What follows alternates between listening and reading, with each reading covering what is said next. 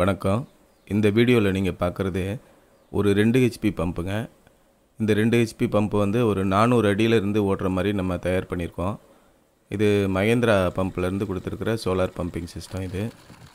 இப்போ வந்து இது வந்து அருப்புக்கோட்டை பக்கத்தில் இருக்கிற ஒரு ஊர்லேருந்து நம்ம போட்டிருக்குறோம். அருப்புக்கோட்டையிலேருந்து ஒரு ஆறு கிலோமீட்டரு. சுத்தமாக தண்ணியே இல்லாத பகுதி. இங்கே புதுசாக போர் போட்டிருக்குறாங்க. போர் போட்டு இப்போ தான் சமீபத்தில் போர் போட்டதுனால அந்த போர் இன்னும் சுத்தம் பண்ணாமல் இருக்குது ஒரு முறை கம்ப்ரஸர் வச்சு ஊதுவாங்க. அதுக்கப்புறம் அந்த மண் அதில் இருக்க தான் செய்யும். அப்போ இந்த பம்பு நம்ம போடும்போது பம்பு வந்து மொதல் போட்ட உடனே நேராக நம்ம வந்து நானூறு அடி இறக்கிட்டோம். அப்போ என்ன ஆச்சுன்னா உள்ளே மொதல் ஓடி தண்ணி வந்தது உடனே அது மோட்டார் வந்து சிக்கிருச்சு.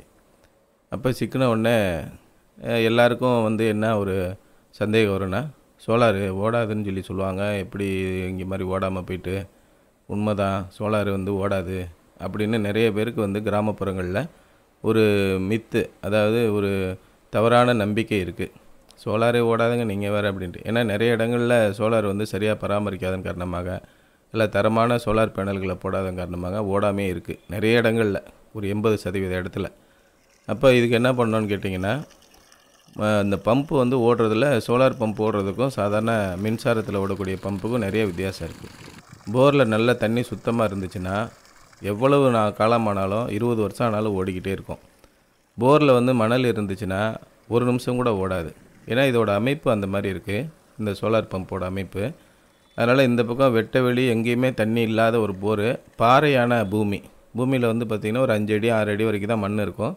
அதுக்கப்புறம் கரும்பாறை இருக்கும். அந்த கரும்பாறையில் போர் போடும்போது அதில் இருக்க ரொம்ப நுண்ணிய துகள்கள். நீங்கள் ஒரு பாட்டிலில் பிடிச்சி வச்சிங்கன்னா தான் ஒரு அஞ்சு நிமிஷம் கழிச்சு கீழே டெபாசிட் ஆகி நிற்கும். அந்த மாதிரி இடத்துல நம்ம போர் போட்டிருக்கோம். அப்போ ஆரம்பத்தில் நிறைய சிக்கல்கள் இருந்தது. அப்புறம் பம்பை வெளியில் எடுத்து ஒரு ட்ரம்மில் வச்சு ரன் பண்ணி க்ளீன் பண்ணிவிட்டு மறுபடியும் நூறு அடியில் வச்சு ஒரு ஒரு வாரம் ஓட்டணும். அப்புறம் தண்ணி இது மாதிரி அழுக்காக வந்து தெளிவாக ஆரம்பிச்சிது. அப்புறம் ஒரு வாரத்துக்கு அப்புறம் இரநூறு அடி அப்புறம் ஒரு வாரத்துக்கு அப்புறம் முந்நூறு அடியில் இப்போ வச்சு ஓட்டிக்கிட்டு இருக்காங்க. எந்த பிரச்சனையும் இல்லாமல் ஓடிக்கிட்டு இருக்கு. தண்ணி நல்லா இருக்குது வெயில் நல்லா அடிக்குதுன்னா கண்டிப்பாக எந்த சோலார் பம்பும் ஓட தான் செய்யும். அது மாதிரியான ஒரு பம்பு தான் இங்கே. இது பாருங்கள் இந்த மோட்டார் எப்பயுமே சோலார் ஆன் பண்ண உடனே பம்பு எப்படி ஓடும் அப்படின்றத காட்டுறதுக்காக உங்களுக்கு இது. ஆன் பண்ண உடனே மெதுவாக ஸ்டார்ட் ஆகும். நம்ம லிஃப்ட்டு போகிற மாதிரி தான் இந்த சோலார் பம்பு. கரண்ட்டு பம்பில் வந்து சுவிட்சை போட்டோடனே வேகமாக பட்டார்னு இழுத்துட்டு ஓடும். அந்த மாதிரி இது ஓடாது. நம்ம லிஃப்ட்டில் போகும்போது எப்படி ஓடுதோ அது மாதிரி ஆன் பண்ணோடனே மெதுவாக ஓட ஆரம்பித்து மெதுவாக நிற்கும் அப்போ சின்ன துகள்கள் இருந்தால் கூட பார்த்திங்கன்னா மெதுவாக ஸ்டார்ட் ஆகி ஓடும்போது அப்படியே பிடிச்சிக்கிடும். அதனால தான் இந்த வீடியோ உங்களுக்கு காமிச்சிருக்கேன். மெதுவாக ஸ்டார்ட் ஆகி மெதுவாக நிற்கிற மாதிரி தான் இந்த சோலார் டிரைவ் நம்ம தயார் பண்ணியிருக்காங்க. அந்த நேரத்தில் என்னன்னு கேட்டிங்கன்னா சின்ன துகள்கள் அந்த இம்பெல்லருக்கு நடுவில் மாட்டிக்கிட்டால் கூட அந்த நேரத்தில் நமக்கு மோட்டாரை வந்து அதுக்கு மேலே எவ்வளோ பவர் கொடுத்தாலும் ஓடாமல் போயிடும். இதான் மோட்டார் பிடிக்குதுன்னு சொல்கிறது அதனால் சோலார் பவரில் நீங்கள் சந்தேகப்பட வேண்டாம். நல்லா ஓடும். மோட்டாரை க்ளீன் பண்ணி இந்த மாதிரி பிடிச்சிருச்சுன்னா ஒரு ட்ரம்முக்குள்ளே வச்சு மோட்டாரை வந்து மறுபடியும் நம்ம நல்ல தண்ணியில் ஓட விட்டோம்னா உள்ளே இருக்கிற துகள்கள்லாம் வெளியில் வந்துடும் வந்த பிறகு மறுபடியும் நீங்கள் போருக்குள்ளே இறக்கி ஓட்டினீங்கன்னா அற்புதமாக ஓடும். எந்த விதமான பிரச்சனையுமே இருக்காது.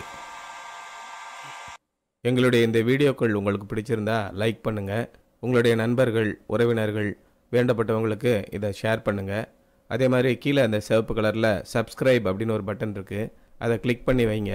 அப்போ நாங்கள் போடுற எல்லா வீடியோவும் உங்களுக்கு அப்பப்போ வந்து சேரும்.